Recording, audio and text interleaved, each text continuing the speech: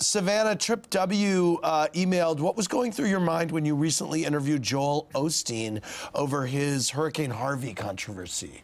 Oh, um, well, I was really glad that he came on the show, honestly. I mean, he had all this controversy. I think people remember whether or not he had opened up. They have this huge church. I mean, it's in an arena, whether or not he had opened it up fast enough for people.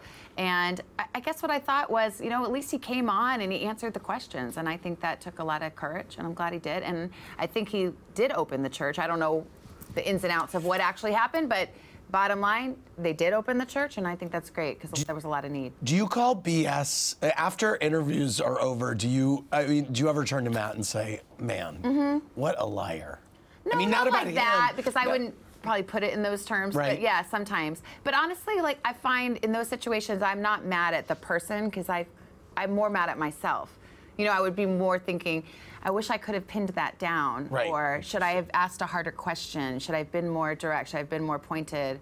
That you know, I mean, I'm so if I felt someone was being slippery, Yeah. I think I would direct the criticism at myself. That's interesting. Sometimes do you find asking the harder question g- gets you, like asking the easier questions, you can kind of get in the back door and get a better answer? Sometimes Yeah. you can. I mean, sometimes that is a better technique. But uh, but the other thing is, I always think about the person at home, and I don't want them throwing things at the TV. Like, why aren't you asking Yeah, the question yeah, we yeah. all want to know the answer Right. to?